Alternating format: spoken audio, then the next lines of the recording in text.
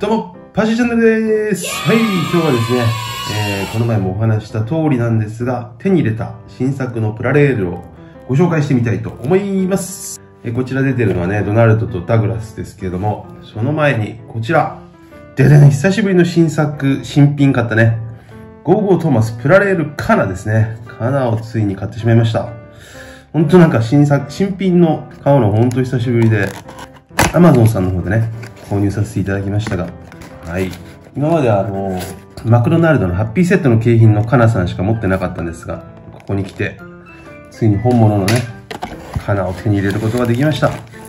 今回いいなと思ったのが、この箱の仕様がね、この中がこう、ちゃんと線路みたいになってて、こうなんだろう、使ってない時こうしまって、こうやって飾っておくこともできるなぁなんて思ってね。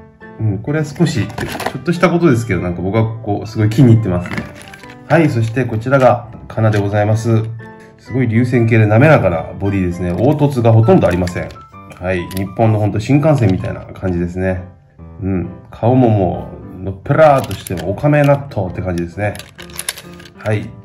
車輪がね、ほんとちょっと変わってて、正面から見るとわかりますけど、横にすごい飛び出てますね。そしてこの、歯車みたいなこうギザギザがすごいついてる。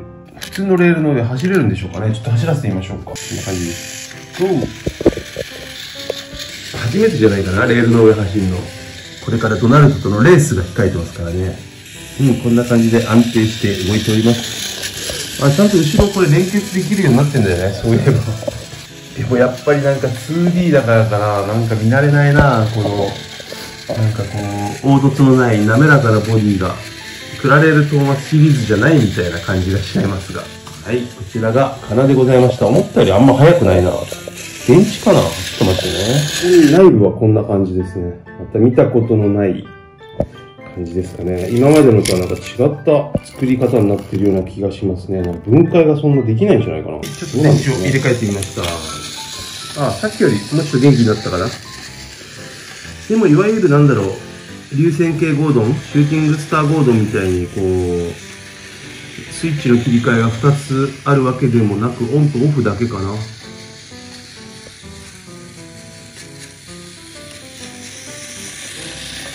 そうだよね。うん、スイッチはオンとオフだけですね。まあ、このぐらいのスピードで走ることができます。そしてこの前手に入れたね、トードですね。トードって紹介したっけな？忘れちゃった。はい。ブレーキ車っていうんですね。ブレーキ車のトードです。この、なんていうんですかね、ラウンジっていうのかな、バルコニーっていうのかな。この部分がすごい広くこう設けられているのがすごい特徴的な、はい、貨車、貨車というかブレーキ車か、となっておりますね。はい。そしてミニストーリーも出てきましたが、そうです。ダグラスはね、あ、ドナルドか。ドナルド2体言いますね、一応ね。はい、両方とも、ちゃん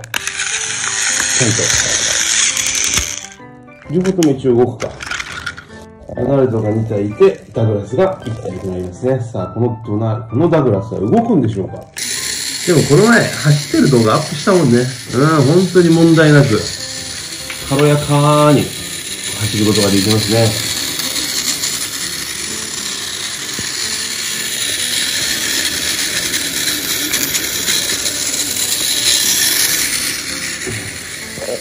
そしてね、これを購入した時におまけがついていまして、それがこちらですね。なんだかわかりますでしょうか？はい、雪かきでございますね。どうやってつけるんだろうって最初思ったけどね、ここにカポッとはめるみたい。うわ面白いね。いや、こういう追加で付けられる部品面白いよな僕結構こういうの好きなんだよね。こうカスタムアップしていくような部品。マジで顔の表情とかね、パーツ出してほしいんだけどな、機関車トーマスシリーズは。と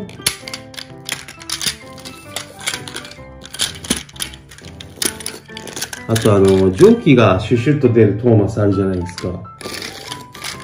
まあ、ああやってね、蒸気をこう、継続的に出すのはかなり難しいとは思うんですけど、こういう煙突にね、ちょっとこう、ピンみたいなのにプッと差し込んで、こうちょっとしたこう煙が出てるようなものとかもあるとね、こうちょっと止まった写真を撮るときにも映えると思うんですよね。こう、煙がこう、もくもくと湧いている感じとか。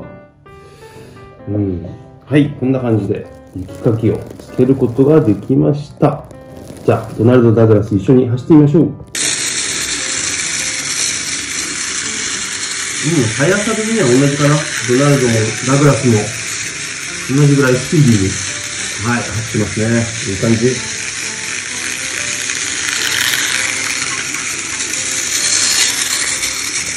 したらどうなるんでしょうね。どっちが速いんでしょうね。はい。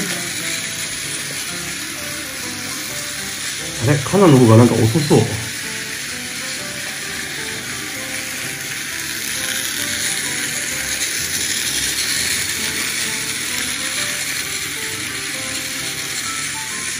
まあ、こちらのレースはね、ミニストーリーの方で、はい、公開しますので、ここら辺にしときましょうか。